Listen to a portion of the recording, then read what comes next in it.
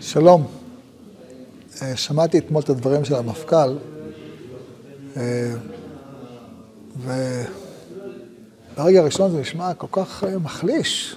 מה זה השטות הזאת? גם שר, השר שמינה אותו אמר לו שהוא אמר דברים מופרכים, וכל אחד במדינה מבין שזה דברים מופרכים. ונזכרתי בדברים שכתב הגאון מווילנה, שאומר שעיקר כוחה של הסיטרא אחרא בדור הזה, בדור של יישוב ארץ ישראל, זה בשקר. ואמת מארץ תצמח.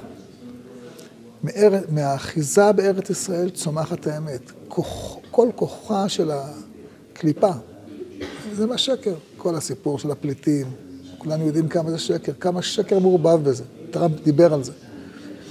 יש ספר שלם שנקרא מאז ומקדם, שכולו חושף את השקר שמשתמשים בו, כל, ה, כל הסיפור של ה...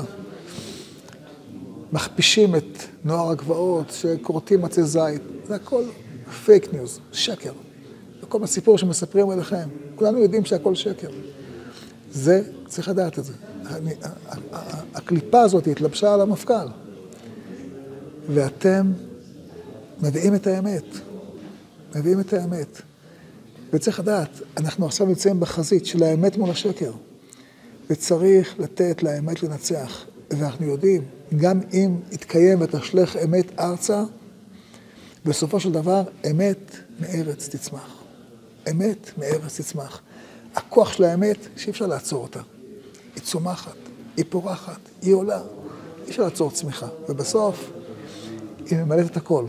אנחנו מברכים אתכם שתהיה לכם ברכה, שהאמת שלכם תצמח, תעלה, כולם יראו אותה, וראו כל עמי הארץ, כי שם השם נקרא עליך ויראו ממך.